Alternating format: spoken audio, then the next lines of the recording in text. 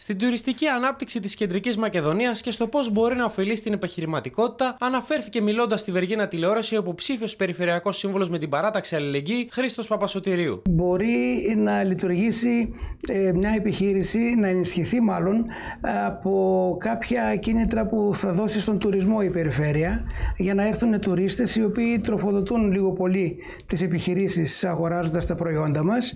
Ε, μπορούν να γίνουν κάποιοι χώροι ε, και να λειτουργήσουν σαν πάρκινγκ, ειδικά στο κέντρο της ε, πόλης της δικής μας εδώ, που το πάρκινγκ είναι νομίζω το μεγαλύτερο πρόβλημα που υπάρχει. Ο κύριος Παπασωτηρίου τόνισε την ανάγκη να αναβαθμιστεί το δικό δίκτυο και να δημιουργηθούν οι κατάλληλες προϋποθέσεις, ώστε οι επισκέπτες της Θεσσαλονίκης και της Κεντρικής Μακεδονίας να διευκολύνονται ως προς τις μετακινήσεις τους.